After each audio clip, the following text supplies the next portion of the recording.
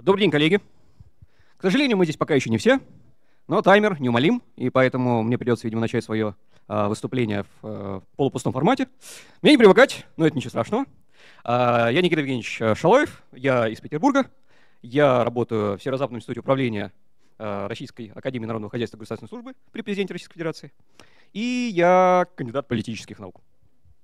Вы можете спросить, что я здесь делаю, потому что я не айтишник. В свое оправдание могу сказать, что у меня 5 звездочек на лоре. Итак, тема моего сегодняшнего доклада посвящена э, проекту, который я реализовывал э, последние пять лет. И э, проект посвящен изучению математики студентами-политологами. Ну, в принципе, я думаю, что все, что я сейчас скажу, может быть э, без э, большой потери смысла расширено и на студентов других социальных наук, ну, например, социологов, психологов и так далее.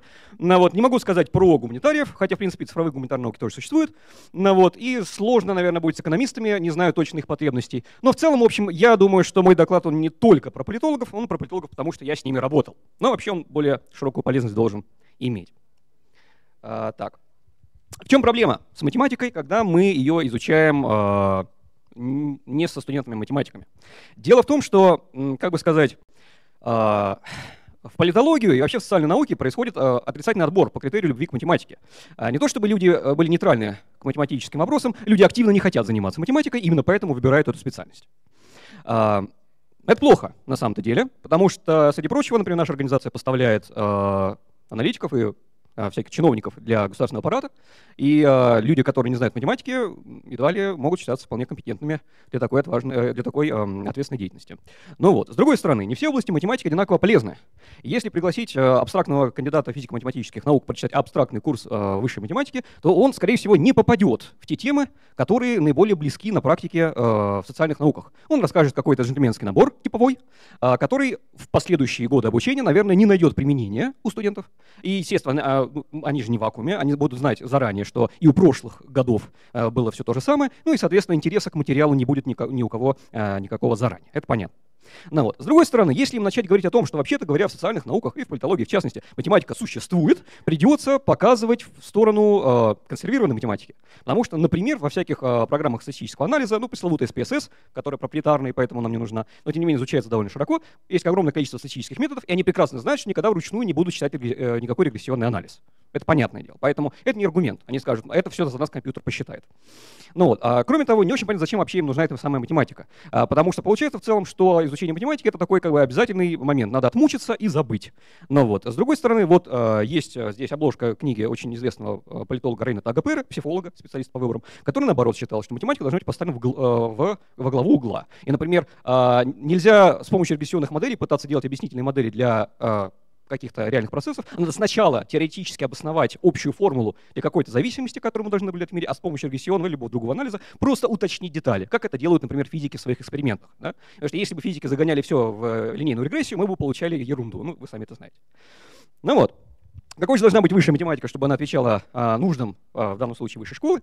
Ну, а, во-первых, нам придется обосновывать а, полезность математики, нам придется показывать примеры, как математика реально применялась а, в исследованиях. И, естественно, не в смысле отсылки там, к использованию SPSS а, исследователю. Математику придется сделать доступной, она не должна быть заумной, потому что люди, которые к нам пришли, они уже заранее отбросили идею о том, что они будут очень сильно э, впиваться зубами в гранит науки по части математики. Так что надо что-то более-менее ну, э, по зубам сделать.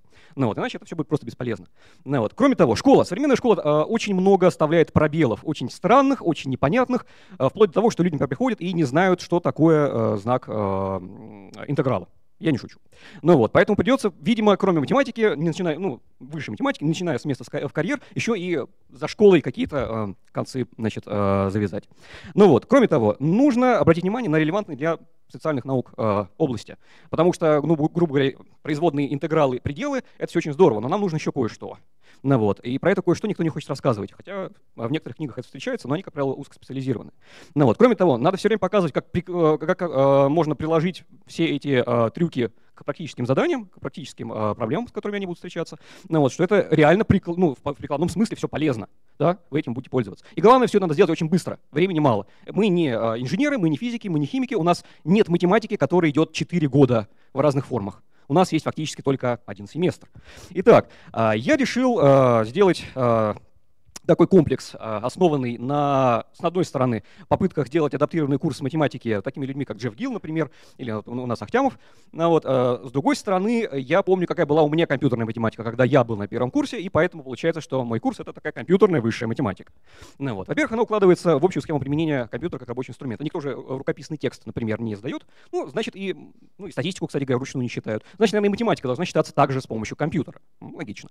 Ну, вот. а кроме того, получается, что мы можем достичь каких-то практических результатов, не оттачивая классические навыки месяцами. Да? То есть, например, ну, посчитать интеграл. Понятное дело, что человек, который это сделает, в итоге он будет не такой математик, как настоящий математик, но он добьется результата, правильно? Ну вот, как правило, политологам не дают медали за красивое взятое интеграл на бумажке. Ну вот, а, значит, кроме того, некоторые лакуны, которые школа оставляет, в данном случае закрываются. Прежде всего, например, иллюстрации. Потому что школа не учит рисовать те же самые графики. Вы понимаете, что ни, ни одно научное издание не возьмет рукописный график в работу. Его нужно нарисовать на компьютере. Люди это делать не умеют здесь научатся. Ну вот. А, кроме того, все должно опираться на те инструменты, которые и так применяются а, в реальной а, деятельности. Ну вот. И кроме того, было у меня очень мало времени, всего 6 лекций и 12 семинаров.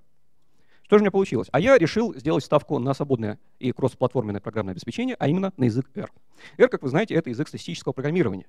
И поэтому его практическая э, значимость для студентов в социальных науках самоочевидна. Ну, во всяком случае, для того, кто вообще там пришел учиться, а не за корочкой. Потому что э, мы можем очень э, широко наблюдать его применение в разных сферах исследовательской деятельности. Мы можем э, открывать материалы для репликации к разным журналам, мы можем идти там на Harvard Dataverse и так далее, и мы увидим там код на R. Так что R реально наш хлеб. Ну вот. Кроме того, сам по себе R имеет как минимум гигантский репозиторий пакетов, кран. Ну, знаете, есть CPAN, CTAN, да. Ну вот, а это кран. Ну и вот, там сейчас больше 21 тысячи пакетов, они все прирастают. Ну, кроме того, естественно, на GitHub тьма тьмущая разных пакетов на все случаи жизни. И все время их количество только растет. А, ну вот, а, ну это не очень актуально именно для студентов, но они потом вырастут, поймут, что это было круто. А, с помощью R можно коллективно работать над проектом исследовательским с помощью того же гита. То есть по-умному, по-взрослому. Ну вот, сам по себе R заточен на обработку данных и на статистический анализ. И в этом его отличие от питона, например, потому что, в принципе, все то же самое можно делать на питоне, но там потребуются дополнительные модули. А в R не потребуется ничего. В базовой комплектации R а, приходят такие функции, которые, ну, специально не придумаешь, короче говоря, но они там уже есть, потому что кому-то когда-то потребовалось для анализа данных. Ну вот, и а, он легко покрывает э, наши потребности в математическом инструментарии, как минимум базовым, плюс несколькими пакетами, о чем я скажу через буквально минутку. А, R прирастает регулярно. У меня в 55... Посмотрите на расписание. Таймер не соответствует э, расписанию. Ну вот, а, значит, да, Например, есть метод логической, нелогистической регрессии, который сделали для анализа э, данных по изучению рака. Его первым делом реализовали на R. Кто хочет его пробовать, может, соответственно, взять, поставить себе соответствующий пакетик и применить. Все замечательно. Кроме того, у нас есть RStudio, тоже кросс-платформенное свободное программное обеспечение, которое нам позволяет все это сделать гораздо слаще. Во-первых, это комфортная э, для работы с R. При желании можно и Python, кстати говоря, использовать, он там тоже первоклассный э, гражданин. Ну, вот, так что мы не отбрасываем Python, мы просто его пододвигаем в сторону. Ну, вот, сама по себе э, RStudio реализует концепцию э, literate programming, ну или грамотного литературного программирования. То есть все, что мы программируем, перемежается нормальным текстом. Ну, вот, и, соответственно, мы можем э, полноценные работы делать, которые выглядят красиво, хорошо структурированы, и у них э, все в порядке. Ну, вот, она интегрирована с LaTeX, ну, с латехом. Да? Соответственно, любые формулы, которые надо набирать, будут набраны легко. Сами понимаете, математиков на компьютере без латеха невозможно никак, и студенты поймут, как делать нормальные формулы. Можно делать интерактивные презентации, вот там картиночка, она блеклая, конечно, но тем не менее. Но вот где можно показывать всякие интересные штуки в динамике. RStudio умеет все это запускать, и студент может играть. Ну и в целом это очень красиво получается, особенно когда все это экспортируется потом а, в разном виде. В каком? Ну, во-первых, а, в моем курсе, получается, есть два как бы а, параллельных потока материалов. С одной стороны, для изучения, для чтения материалов это PDF. PDF, правда, вот здесь я немножко э, покривил душой, я все-таки рендерю их через свой родной э, Xelatex, который стоит у меня на рабочем компьютере. Я не использую для этого TinyText, который обычно тянется в RStudio, ну просто потому, что у меня уже ну, toolchain настроен, да, и у меня все хорошо. Ну вот, так что все материалы лекций, семинаров — это красивые PDF-ки, все абсолютно иллюстрации, которые там есть, все абсолютно сделаны на R. Ну, плюс вот презентация Shiny, которую можно скачивать локально и смотреть, как там работают интегралы и прочее. И ко всему к этому, естественно, студент всегда получает файл исходный RMD. Исходный код, товарищи, свободное программное обеспечение. Ну вот, он может этот исходный код, естественно, а, открыть в RStudio, посмотреть, как все это работает, поломать, починить, изучить и, в общем, все, что хочет с ними сделать. Э, он увидит, как работает там тех, как работает Markdown, это никакой не секрет.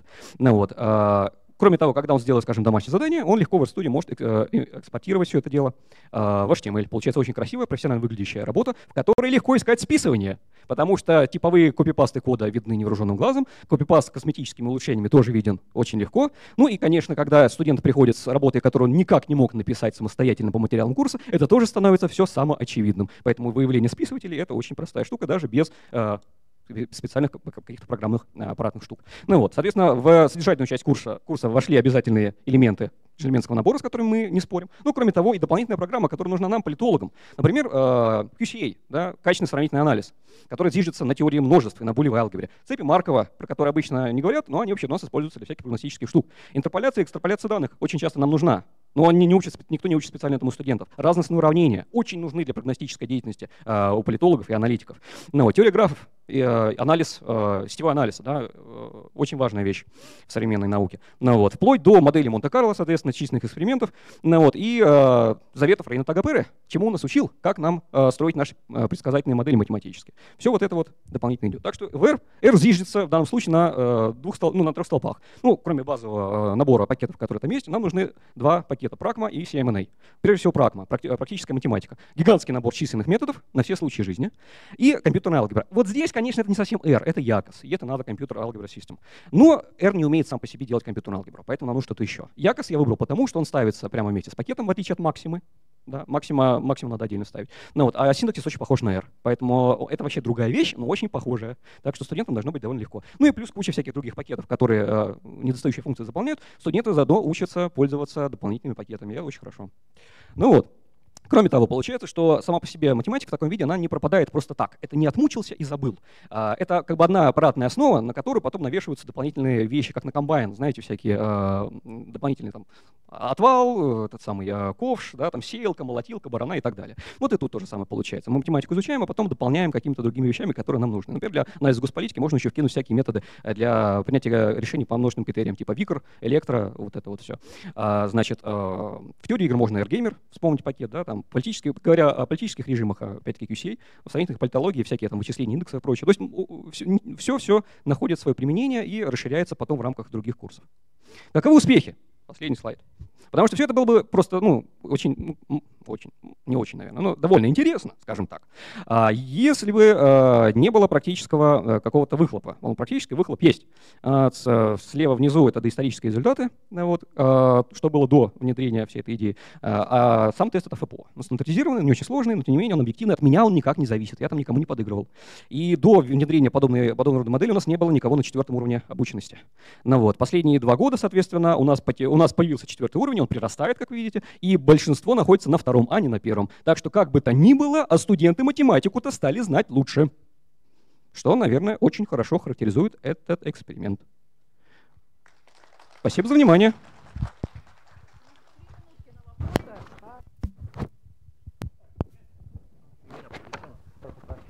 У меня очень короткий вопрос. Два. Один вопрос про питончик. Значит, есть такая тенденция, что питон-программисты и вообще разработка на питоне, в том числе в непрограммистских вытесняет разработку на R. Вы с этим сталкивались, вы от этого страдаете? Потому что я знаю, что Python менее удобен для тех целей, которые вы говорите. Ну, я, естественно, сталкивался с растущей популярностью Python. У меня есть коллеги, которые а, погрязли в питонной ереси. А, я, конечно, от этого страдаю в душе, как любитель R. Ну, вот, а, но в целом это никак особенно не мешает, потому что, как правило, те люди, которые знают Python, они знают и R. А кроме того, студенты, в принципе, ну, как бы питон не выгоняет из головы R, R не выгоняет из головы питон. У нас все это уживается вполне нормально. информационное пространство, не наблюдаете ли оттока свежих материалов, вот это вот все? Не видите ли вы, э, что вам перестает хватать R, просто люди сбежали в питон? Нет, вот этого ага, как спасибо. раз нет. И второй маленький вопрос про э, вот это э, все фамилии, формулы, методы и все остальное. Правильно я понимаю, что с учетом очень короткого времени это фактически название метода, область применимости и кнопочка куда жать там или куда, куда вернее, функция, которую вызывать. Это так выглядит? Где-то, да? ну, а, где-то так, где-то не так. Это, как правило, э, ну, например, если мы говорим про э, разные методы э, интерполяции данных, то подробно вводится идея, подробно демонстрируется что-нибудь простое. Например, интерполяция Лагранжа. После этого идет разговор о том, а вы знаете, ведь есть другие методы. Они уже вводятся более-менее кратко, двумя-тремя словами, кубические сплайны, например. Да? Ну, вот. И им показывают, смотрите, в прагме-то у нас сколько всего. Ребят, надо же, наверное, это знать. Представьте себе, что у вас будет э, набор данных, в которых ну, каждый второй год будет пропущен, например. Да? У нас часто так бывает. Один рейтинг какой-нибудь каждый год, другой каждые два года. Нужно выбрасывать половину, что ли, нет? Надо интерполировать. Ну и вот. Посмотрите, какие кубические сплайны, кусочно-линейные и так далее, и так далее. Вы же теперь уже знаете, о чем идет речь. Несложно понять, как бы достроить дельту, да, это интеллектуально. Получается очень даже неплохо. Тем более, что в той же прагме все примерно одинаково одинаково работает, так что как бы... Один. Один Коллеги, вопрос. все, э, время вышло, давайте мы кулары перенесем вопросы. Спасибо большое. А, можно перезапустить.